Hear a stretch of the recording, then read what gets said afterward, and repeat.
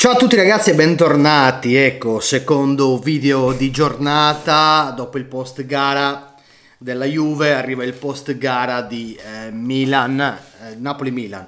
La partita probabilmente più attesa della giornata, no? Per eh, questioni di classifica, perché era uno scontro diretto e il Milan risulta essere la bestia nera del Napoli. Milan che batte il Napoli in casa loro, risultato 1-0, gol di Giroud eh, posso dire la mia? Francamente, ragazzi, era una partita da pari. Però, ecco, ci sta che vincesse l'una o l'altra. Alla fine, queste sono partite che vengono decise dagli episodi. Quindi, il Milan è inutile stare lì a recriminare. Secondo me, non ha rubato nulla. Non ha veramente rubato nulla. Quindi, complimenti al Milan per questa grande vittoria che proietta i rossoneri adesso primi in classifica a 60 punti. L'Inter a 58, ma ricordiamo una partita in meno contro un Bologna che ormai ha messo i remi in barca, quindi potrebbero essere virtualmente 61. Napoli 57, Juve 53, quindi il Napoli adesso dista 4 distanze da noi. Eh, allora, mm, io ragazzi non, sto, non, sono proiettato ovviamente per la corsa scudetto, perché sarà una corsa eh, per queste tre squadre. Eh, il Napoli ha ancora un gap minimo su cui giocare e deve cercare nelle prossime gare di, di, di, insomma, di andare a fare punti, a fare punti importanti perché non è ancora chiusa la lotta a scudetto.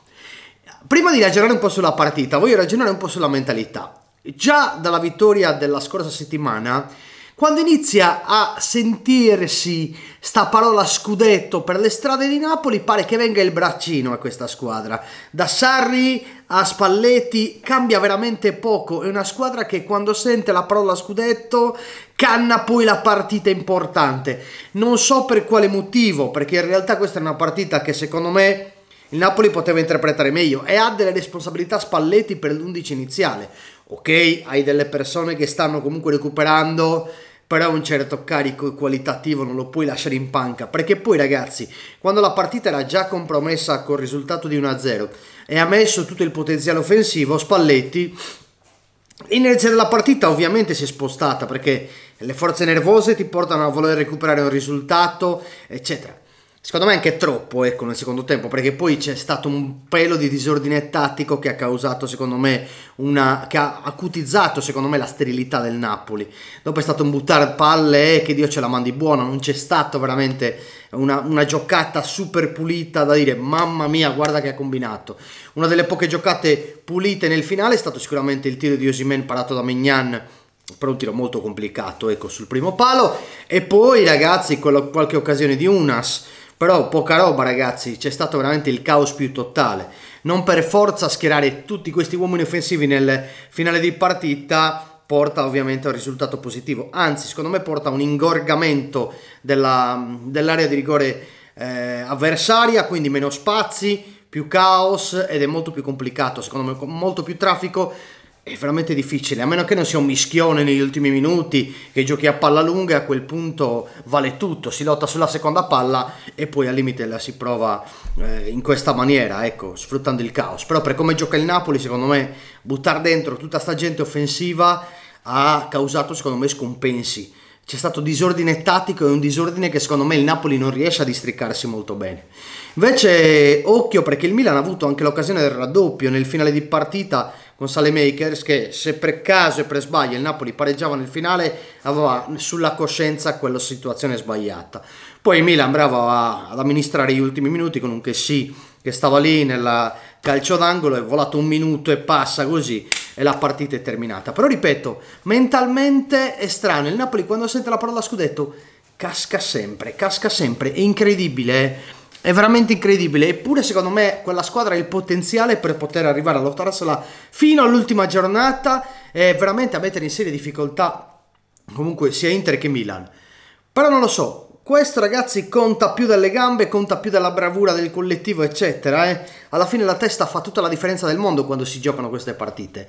Ed è un Napoli che, ripeto, gli viene il braccino, si caccano addosso per un motivo o l'altro, per eh, l'avversario più o meno valido, per una situazione eccetera Boh, non lo so, casca sempre il Napoli, si schianta, incredibile. Milan invece che grande prova di maturità secondo me con un Teo Hernandez oggi in versione cyborg, sovraumana quasi, no? Ha fatto veramente delle cose spaziali. spaziali Giroud, gran, gran partita anche oggi di Giroud, ha fatto salire molto bene la squadra, ha tenuto bene poi ragazzi quel gol è suo, e ha fatto lo stesso gol che ha fatto all'Inter al derby, uguale preciso, coppia incolla. È stata una partita del Milan veramente mm, preparata molto bene da Pioli perché Pioli secondo me ha ingorgato tanto la zona centrale di campo costringendo il Napoli a giocare spesso sugli esterni. Osimen ha ingranato tardi quando sembrava avere gamba, il risultato era già compromesso e c'è stato quel guazzabuio e quel caos eh, di uomini offensivi buttati là dentro senza uno scopo e secondo me non, ha, non è riuscito più a far nulla perché poi il Napoli si è riversato nella metà campo avversaria e secondo me Osimeno è un giocatore che è più da strappo, più da, da giocatore che va in profondità quando si gioca su spazi molto molto stretti, magari anche la giocata all'1-2 come è successo che ha fatto quello scambio là e poi ha tirato centrale su, su, su, su Megnana a fine primo tempo, vicino insomma, alla conclusione della, della, prima frazione di gara. Qualche conclusione te la sa fare così, però poi dopo nel finale è sparito, deve essere l'uomo importante. La cosa che secondo me, ripeto, ha sbagliato il Napoli è nella formazione iniziale, cioè Zilinski non è in forma eh, eccezionale, non, un po' impalpabile, Insigne Politano molto molto timidi oggi, no? eh, li abbiamo sentiti poco. Eh, per il resto, ragazzi, il Napoli ha giocato abbastanza bene, ecco, non è che hanno fatto cagare, però quei due sono stati quelli assenti. La parte offensiva è stata quella sicuramente eh, meno bella, la fase meno bella ecco, del, del, del Napoli. Però ripeto, era una di quelle partite che poteva finire con qualsiasi risultato, perché era veramente una partita da equilibrio totale. Non ho visto le, le statistiche, ragazzi, adesso do un'occhiata al volo giusto per farvi capire un po' eh, possesso palla tiri 9 e 12 te ne importa 2 per il Napoli 7 per il Milan un pelo di più fatto anche un bel miracolo Spina nel, fine, eh, cioè nel primo tempo su quel colpo di testa non mi ricordo di chi di Tomori forse o di che sì. Oh, non mi ricordo fatto sta che ha fatto una bella parata poi c'è stato un fallo dentro l'area quindi non so magari l'avrebbero invalidato quel gol però anche là il Milan è stato pericoloso.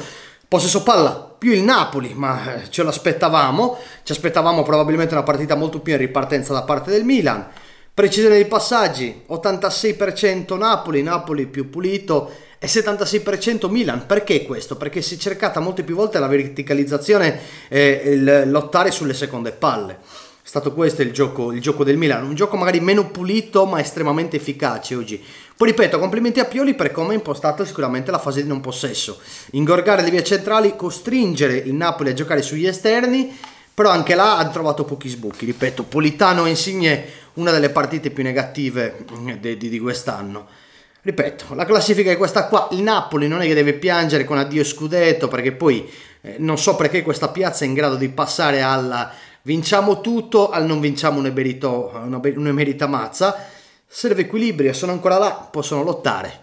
E poi passi falsi, insomma anche delle altre possono arrivare. Adesso il Napoli ha il Milan ha comunque un calendario abbastanza complicato, c'è l'Inter, c'è la Lazio, eh, c'è il Toro, che sono partite abbastanza ostiche, c'è il Verona in casa del Verona, c'è l'Atalanta, c'è il Sassuolo e quindi insomma sarà bello vedere un po' come finirà questo campionato. Il Napoli ha un calendario abbastanza agevole, a parte l'Atalanta e il Verona fuori casa, c'è la Roma, la Fiorentina e basta. Per il resto sono partite, secondo me, sulla carta abbastanza, eh, insomma, abbordabili, ecco. Invece l'Inter ha la Juve, la Fiorentina, il Verona, il Milan, la Roma, cioè hanno un calendario abbastanza complicato, anche se un finale magari un pelo più morbido, Empoli, Cagliari e Samp nel finale di stagione. Quindi vediamo, è ancora tutto aperto come vedete. Tutti hanno due o tre partite che non ce le austiche la Juve ma ragazzi sulla carta eh, perché poi eh, vedete oggi mm, Juve Spezia il secondo tempo abbiamo penato quindi per noi sono tutte complicate quindi lotta a 3 vedremo sarà sicuramente un rush finale di campionato molto interessante. Grazie per avermi ascoltato fin qua, eh, ovviamente rinnovo l'invito a iscrivervi al canale se ancora non l'avete fatto, mi raccomando cliccate sulla campanella delle notifiche, noi ci vediamo domani, l'analisi della Juve a, a freddo, eh, cercherò di portarvi alcuni elementi interessanti per alimentare un po' la, la discussione. E niente, vi mando un grosso abbraccio. E sempre fino alla fine, forza Juve!